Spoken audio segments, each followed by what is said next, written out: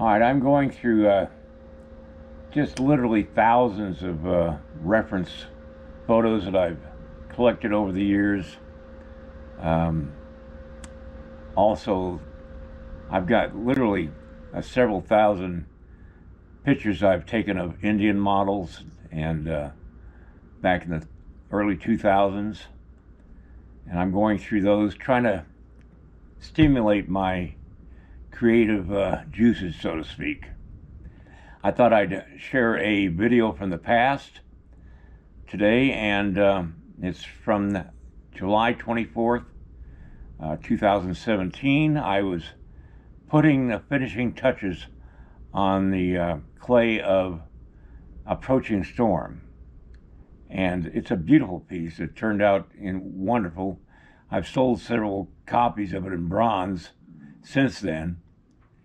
But I thought you might enjoy this, and I'll uh, come back after the video with a few other things. So I hope you enjoy the video. Time to play with some clay.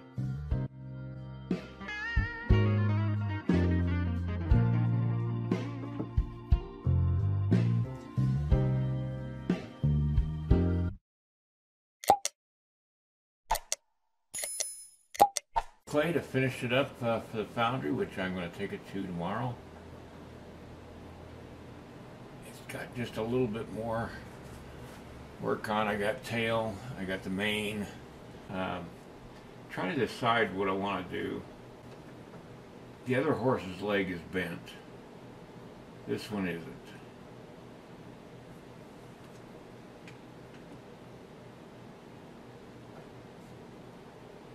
No, I'm just going to finish it. it.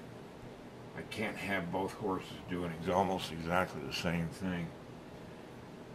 So, uh, all right, I'm going to work on the uh, mane and the tail, and then I'll be back. Okay, using these uh, calipers that were sent to me by uh, a friend in Texas, I've uh, plotted out the uh, stripe on the blanket. Um, it's, it's, a Hudson Bay blanket or a trade blanket. Um, and uh, so what I'm going to do right now is put a different texture where the stripe will be. And the stripe would be black and the blanket might be green, uh, kind of a forest green or it might be a gray. It's just a uh, trade blanket.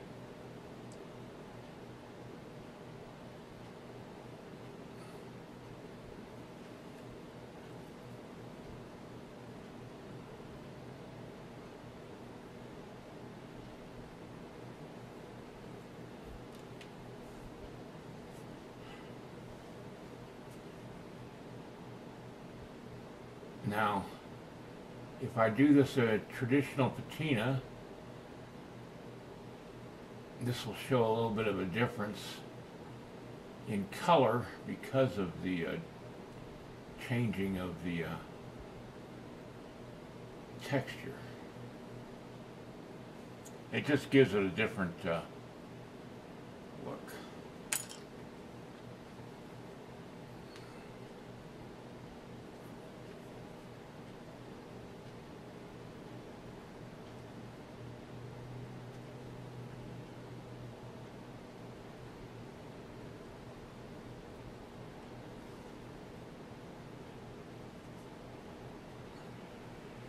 Yesterday I got a email from a person who bought my DVDs, my instructional DVDs, and he asked me, why are you giving away information that I'm paying good money for? I had no answer. I've been doing it for so long, I just uh, never really thought about it.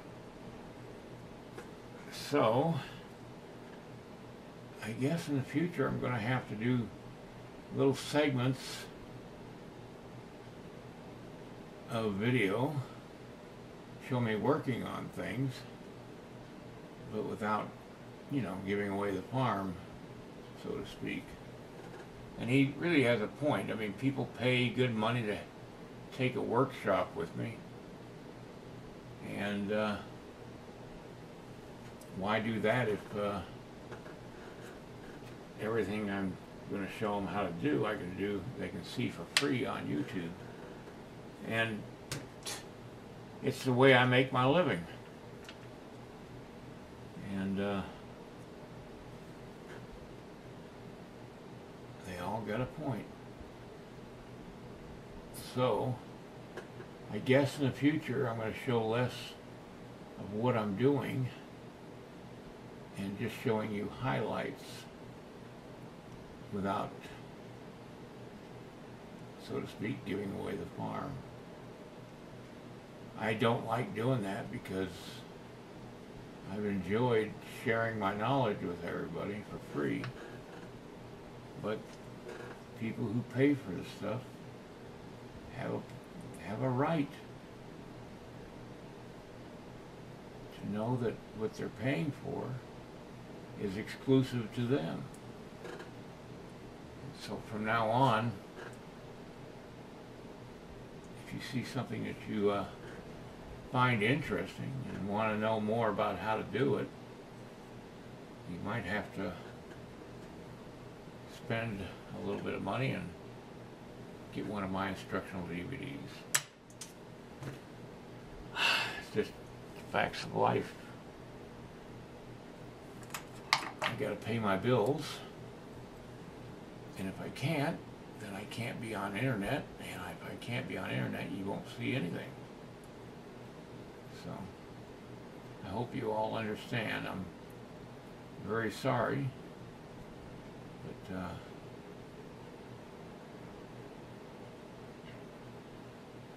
it's just the way it's going to have to be in the future, I suppose.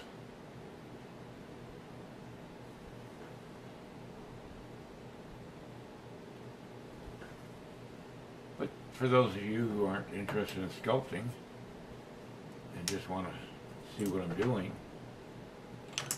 you'll still have that opportunity. All right, I'll be right back. What I'm doing right now is uh, the Indians would tie a rope around the jaw of uh, the horse and uh, all I'm doing is adding now this one would be a double rein. In other words it'd be a loop uh, rope on attached to this uh, mouth rope. And I just went in and checked my reference. I've got a picture of uh, Michael Terry or Bad Michael Badhand, and uh,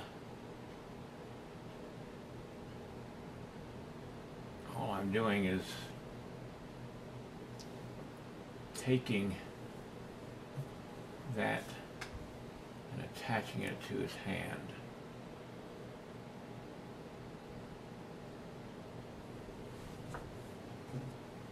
Best I can.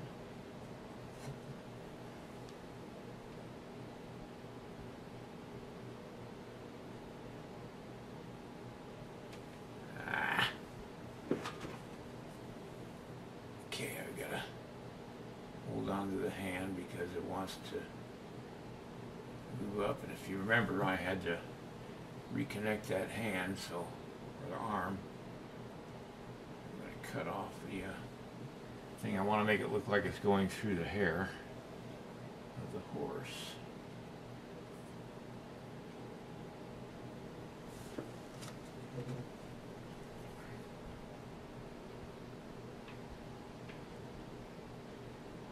we go. Now, they won't cast this rope. They will use this as a guide for making a rope out of uh, twisted uh, bronze wire that will be it'll look just like rope except it'll be bronze.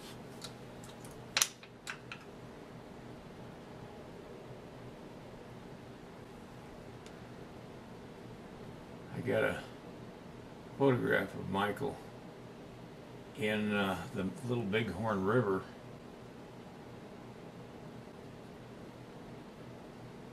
Pulling back on his horse just like this. This will be the last thing I do before, well actually I got some filling in to do underneath this uh, strap here.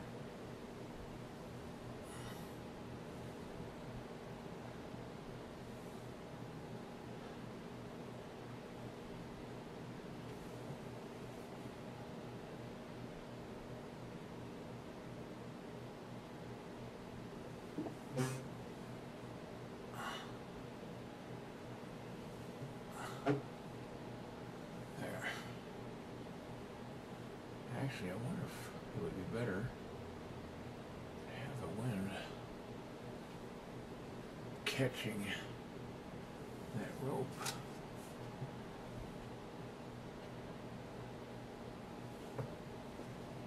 There we go.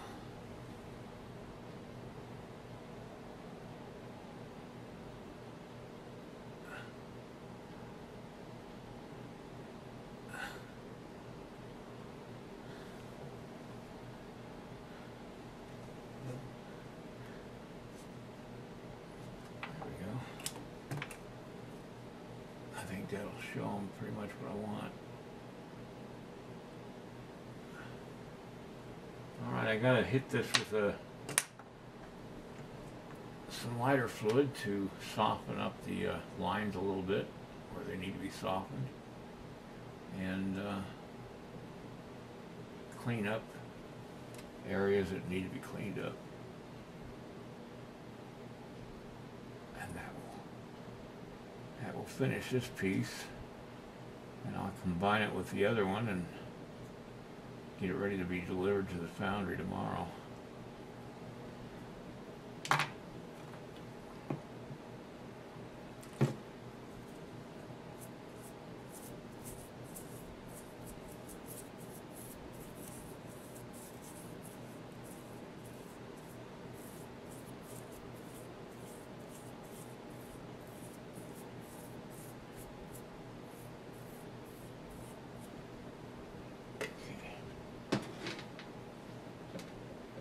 I'll get this ready to put it together.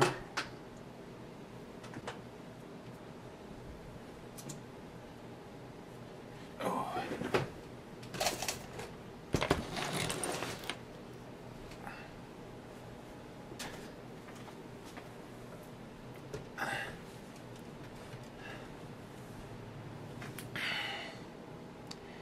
Pick up this clay very gingerly.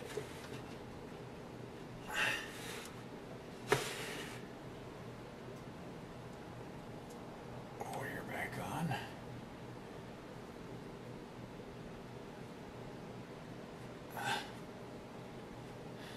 This, but uh, there's nothing I can do about it. I might take this screw and use it to sign. The signature I'm making here is one I came up with back in high school, back in 1964 and 5. It has, it reflects that period. It's a kind of a uh, hippie type lettering that I came up with back then. It was popular, and I've stuck with it. All right. Let's take the excess clay off. Put my copyright. That's good for my lifetime and for 50 years after I pass away being that I'm 71 and going on 72, that's pretty cool. Alright, I can't remember what the edition number is. I'll put that on tomorrow. That's uh, approaching storm. signed and finished. I'll do some touch up at the foundry tomorrow, but uh, basically it's done. I got to find out from them before I finish it up uh, what exactly I need to do to finish it up. Uh, I got the reins on it. The uh, sculpture's finished, and uh, I'm I'm totally happy with it. Totally. I love the way the tails turned out, and uh, I'll take uh, my lighter fluid with me to the foundry just to touch it up if I need to at the foundry. All right, I hope you enjoyed that video. Here's our pictures of uh, that finished bronze, uh, just in case you're curious. Um, when I get done showing you these, I'll kind of show you what I'm trying to come up with as far as an idea. I'm doing a, some sketching here. I don't normally sketch out before I start something, but I felt I got a sketch pad that I never use, and I figured why not use it. So, I don't know how soon I'll be back in my studio, but um, I'll try to make it as quickly as I can. I haven't got the best light in the world uh, for my studio, but, uh, or not my studio, but where I'm sketching here in my uh, upstairs uh, office. But uh, I'm just trying to come up with some ideas for horse movement in case I do a horse. I'm not, I'm just, what I'm doing is just trying to stimulate whatever ideas I've got formulating in my head. And right now, there are not too many of them. anyway, I don't uh, draw tight drawings, I scribble. I have a hard time drawing realistic only because my brain sees everything in three dimension and I'm scribbling the movement of uh, what I'm seeing. Anyway, I'm just uh, continuing on, trying to come up with some kind of an idea for what I'm going to do, and I'm just sketching ideas, or just sketching, just trying to stimulate the uh, imagination, the uh, whatever it takes to get my creative mind working here.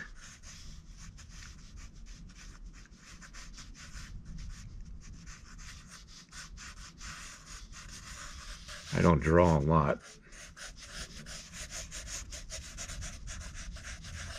For good reason. I don't draw very well.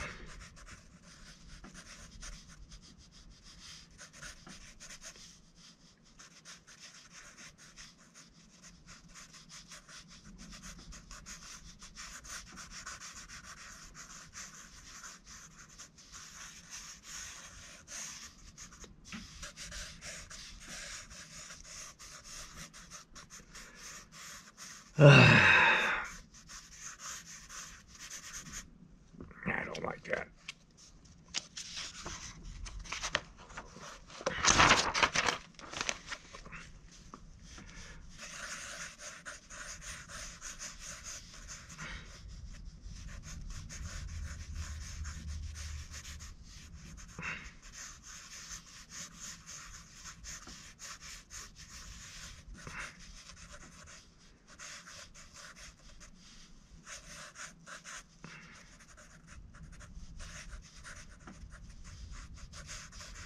Anyway, I'll continue on drawing here and uh, seeing what I can come up with. Just move. I'm just drawing movements.